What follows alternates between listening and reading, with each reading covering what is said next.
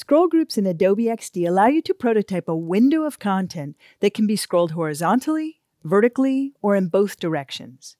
This can be really handy when you're building out UI elements like a carousel of images, a list of items, or an interactive map. Let me show you what I mean. I have an artboard here that I'm working on in Adobe XD. I've already gone in and added my top level navigation and my footer navigation, and I want both of them to be pinned or fixed as content scrolls from underneath it. So for that, I'll come in and select the top level navigation, and here in the Properties Inspector, I'll set it to fixed position when scrolling. And I'll do the same with that bottom group fixed position within scrolling. Next, what I want to do is focus on this content that I have here towards the right. What I want to have happen is that you're going to scroll down on the artboard, but as you come along, I want a carousel behavior across it or horizontally in the design. Working with scroll groups is incredibly simple. All I need to do is come in and select the objects that I want to be part of the scroll group.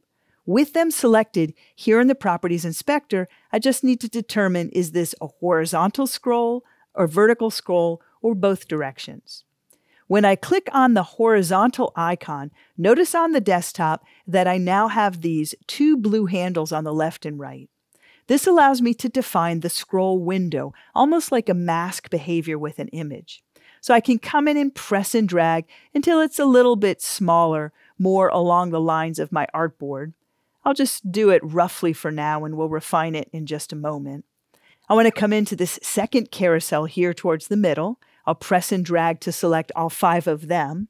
And then here in the Properties Inspector, again, define it as a horizontal scroll. And I'll press and drag to bring it down to the width of my artboard, roughly speaking. With that set, I now want everything that you see here to scroll within my header and footer area that I've defined in this area on the artboard. So for that, I'll come in and press and drag to select everything I have on the canvas. And once again, here in the Properties Inspector, I want this to be not a horizontal scroll, but a vertical scroll. So I'll click and release to define that. I see my handles come up. I can press and drag up. What I want to do is get this really right into that nested area between my two bits of navigation. So let's make it a bit smaller. I'm going to bring it onto the design canvas. And let's get in more tightly on that design canvas. I'm going to come here to that scroll area and just press and drag until it pretty much snaps below my top level nav. A press and drag down so that the bottom area sits just below or just alongside that footer content. In the layers panel, when I open that up, I want to make sure that the scroll group is going to actually sit behind both the header and the footer. In fact, I'll show you. Let's go ahead and press and drag this scroll group area so it's longer, and I'm going to make sure that that footer stays on top. It will flow underneath the content that I see. So with that all set, let's come over here to select the artboard and here in the upper right-hand corner of the app, bring up the desktop preview.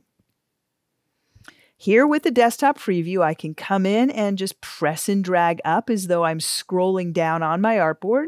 Notice that my top level navigation remains fixed. If I come to that first carousel that I've defined, I can come in and just press and drag horizontally to see the carousel there. If I press and drag down further, I can do the same with the second carousel that I defined. In fact, I went in and defined another example that I thought was interesting. Notice here I have an overlay that I've defined. I want it to be such that when you hit the search button here in the design, it's going to bring up that overlay. And in the overlay, I actually went in and defined another scroll group.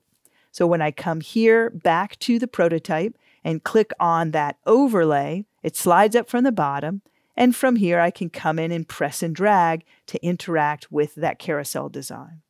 Now, the best part of this feature is, of course, the elegance with which the XD team has integrated throughout the product. I just showed you how you can define a scroll group in an overlay. You can also work with scroll groups with components. You can use it with component states. You can also use it with auto animate. It just integrates really beautifully with the design work that you're doing.